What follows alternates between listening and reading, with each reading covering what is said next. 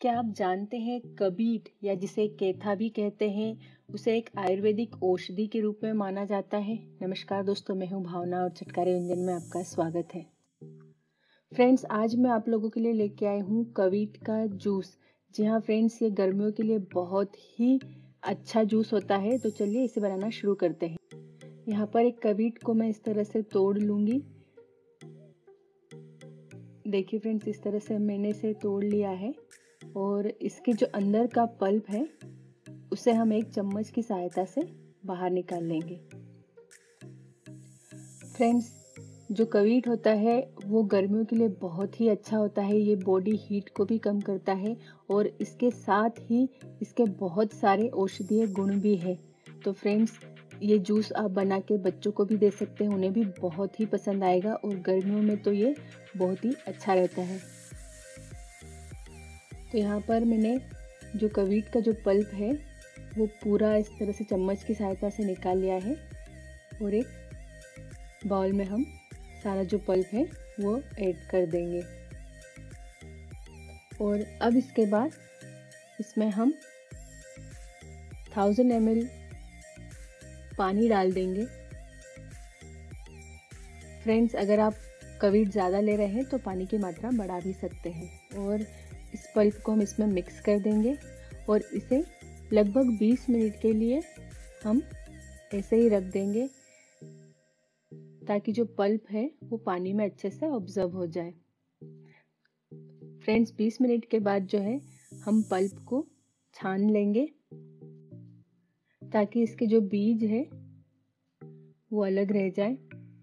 तो हमें इस तरह से इसे छान लेना है। फ्रेंड्स कवीट जो है इसका जूस एक एनर्जी बूस्टर की तरह काम करता है गर्मियों में। तो आप ये जूस बना के ज़रूर ट्राई कीजिएगा। ये सभी को बहुत पसंद आता है। तो फ्रेंड्स, यहाँ पर जो मैंने इसका पल्प है, वो निकाल लिया है। फ्रेंड्स कवीट गर्मियों में बहुत ही आसानी से मिल जाता है। तो आप ये जूस ज़रूर बनाकर ट्राई कीजिएगा। तो हमारा जो जूस है, वो इस तरह से रेडी है और अब इसके बाद इसमें मैं जेगरी ऐड करूँगी। फ्रेंड्स आप चाहे तो इसमें शक्कर भी डाल सकते हैं। मैं यहाँ पर गुड़ ले रही हूँ। तो यहाँ पर मैं जो है तीन चम्मच गुड़ डाल दूँगी इस जूस में, क्योंकि जो कवीट होता है, उसमें खट्टापन होता है तो उसमें कुछ मीठा ऐड करना बहुत ज़रूरी हो जाता है। और अब इसके बाद हमें इसे जेगरी डिज़ोल्व होने तक मिक्स करना है। फ्रेंड्स हमें ज़्यादा मीठा नहीं ऐड करना है। आप थोड़ा सा ही इसमें गुड़ या शक्कर आपके अनुसार डाल सकते हैं।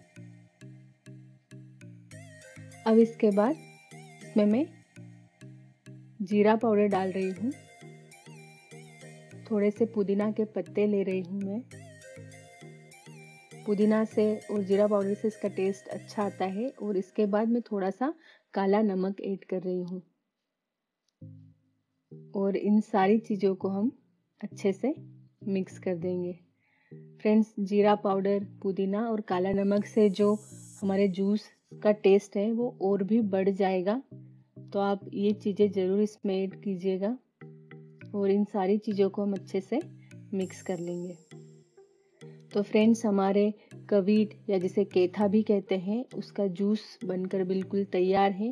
और यहाँ पर जो मैंने कवीट के जो छिलका था, जो एक कटोरी के शेप में रहता है या बाउल के शेप में रहता है, उसमें जो है मैं सर्व कर रही हूँ हमारा जूस फ्रेंड्स ये देखने में भी बहुत अच्छा होता है। इवन बच्चों को बहुत अच्छा लगता है इस तरह से हम प्रेजेंट करते हैं तो।